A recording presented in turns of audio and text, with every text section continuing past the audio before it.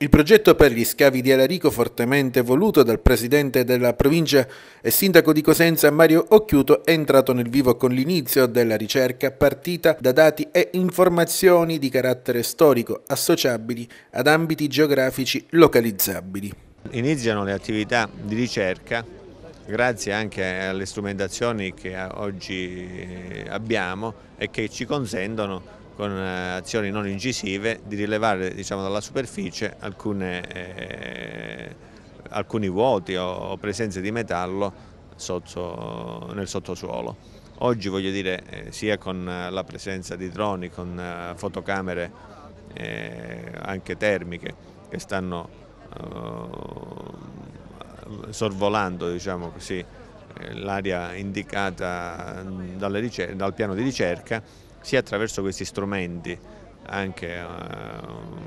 che indagano nel sottosuolo con onde elettromagnetiche se ci sono delle presenze eh, metalliche o dei vuoti stiamo compiendo le prime operazioni. Da queste indagini verranno acquisiti dati con le eventuali strutture antropiche sepolte inglobate in esse che saranno visibili come anomalie con relativa geometria. L'anomalia eventualmente riscontrata si confronterà con la geometria attesa della camera sepolcrale di Alarico. Sono operazioni che eh, si porteranno avanti per mesi perché dire, abbiamo degli indizi sia di natura storica che di natura geografica, quindi intersecando, diciamo, un po', mettendo insieme questi indizi possiamo